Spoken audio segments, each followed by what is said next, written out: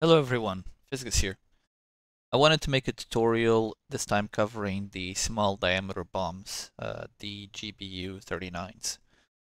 Uh, these ones have a very similar setup to normal JDAMs. Uh, the main difference uh, these weapons have uh, two normal JDAMs like the GBU-31, the GBU-38, and the GBU 54 in its JDAM modes is the fact that these ones um, have a gliding capability and therefore have a much longer range and a much greater standoff capability.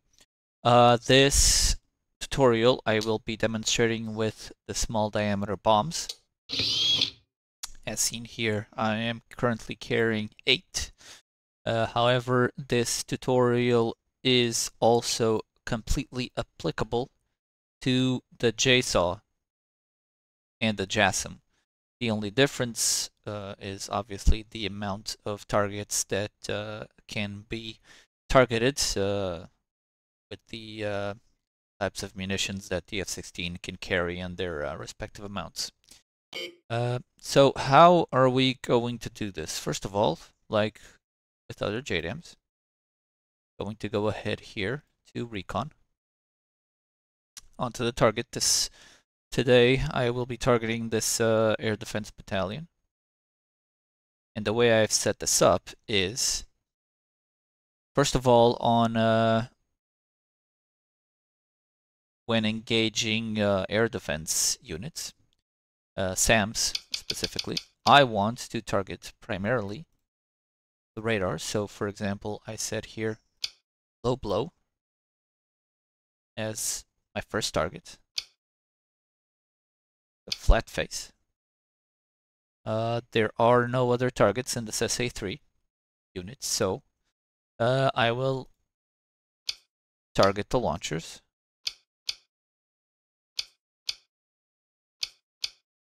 Going through the target steer points and hitting a SEP every single time. So that covers steer point 99 down to 94. So I can target two other uh, vehicles in this unit. So I'll uh, take care of the SA-14 and one of these AAA pieces. So that's down to steer point 92. From so from I will start steer point 99 and cycle steer points as I release the weapons. And then I am going to make sure, okay, it's steer point 92, 93, 94, launcher is up to 97, 98 is flat face, 99 is the low blow. So that's that looks all good to me. I'm going to go ahead and save. And we should be good to go. Uh, I will start in the air and I will be back in VR in a second. Okay, so here we are in the air. I am headed towards the uh, the target area. Uh, target area is roughly around steer point 7, uh, the steer points that I set as uh, steer point targets. However, something that is important, and I think I um, I had a little oversight. I forgot to mention this um, in my uh, GBU31 tutorial.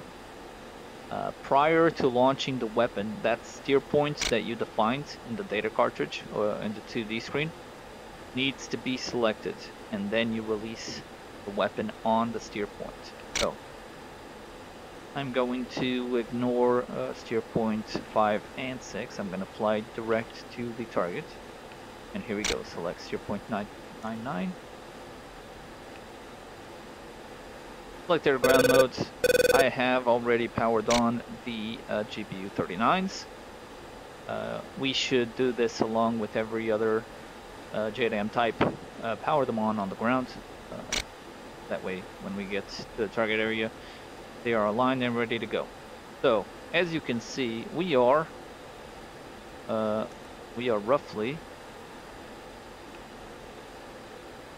47 miles from the target. And at this and at this speed, Mach 0.86 and at 28,000 feet, uh, we have a pretty nice uh, standoff range.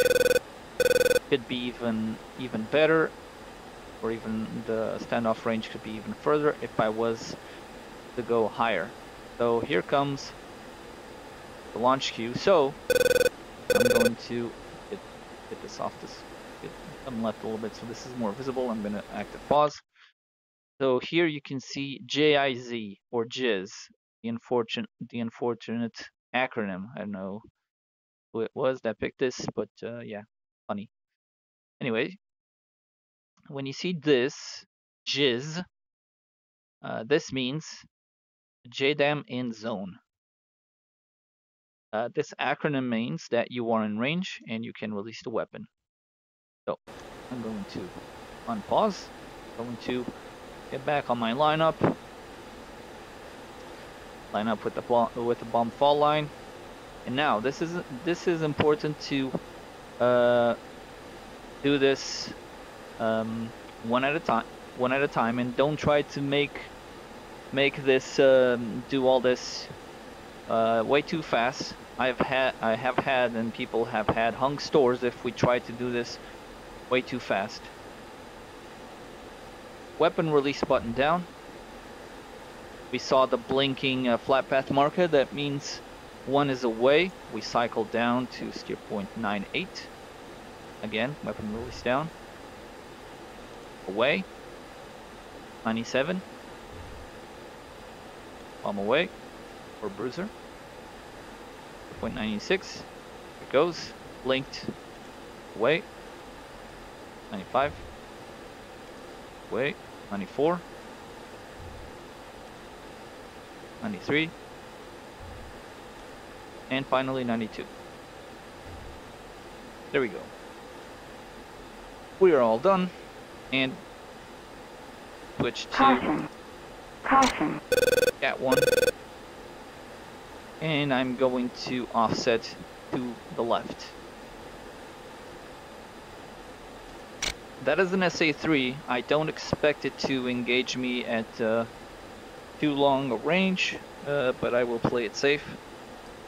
I kind of want to observe the impacts, if the clouds will let me, of the uh, SDBs. Uh, since an SA3, I can get relatively close. I should have marked a uh, threat ring here uh, on the on the um, target, but that uh, I think that works.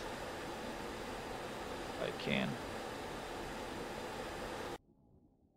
So these are the they're going to be our victims for today here defending Ongjin Air Base. Now if I can just show the weapon, not the right view. There there we go. These are the SDBs. That's my aircraft. These are unpowered, however, as you can see, they deploy little tiny wings, and they are gliding. There's one there back, and there's another one. If are flying happily towards target.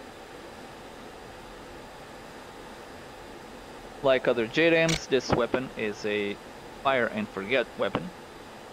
Uh, so as soon as you release, you can go ahead and do any uh, evasive maneuvers that you uh, deem necessary. Uh, you can RTB or do whatever you want. Uh, no further guidance needed.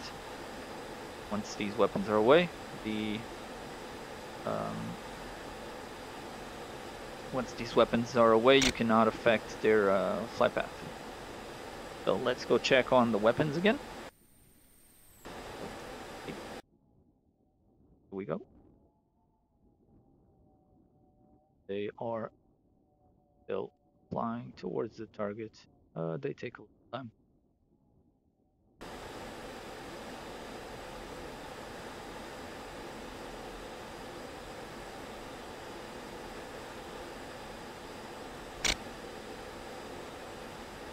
Still observing the still trying to maintain observation on the target.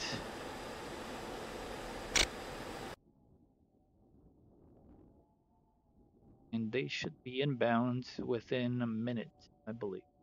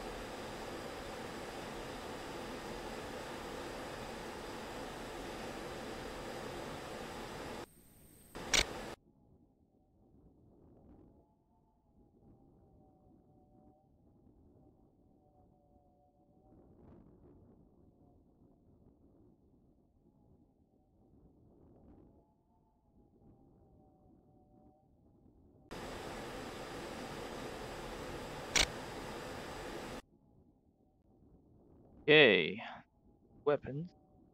These uh, SDBs are about to hit home.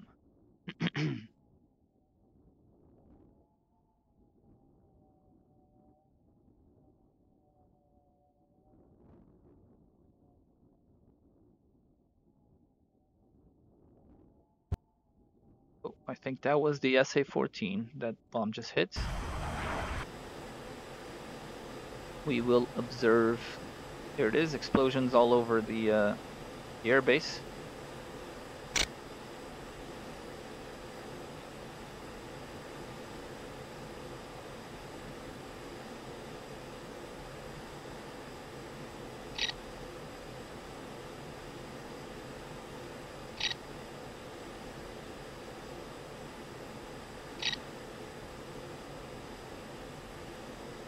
Oh, and that just hit the radar. I was about to say that uh, the weapon that I uh, sent um, towards that radar had failed, but um, apparently it has not.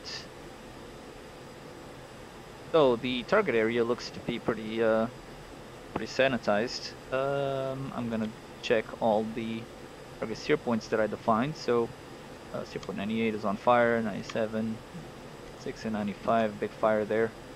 That one was uh, an impact, looks like an impact as well. Uh, that one I think um, was a, a, gentleman carrying an SA-14, which, uh, well, built a bomb. and the, another fire on the AAA piece. So uh, that unit, for the most part, uh, is completely uh, destroyed. I'm getting a little low here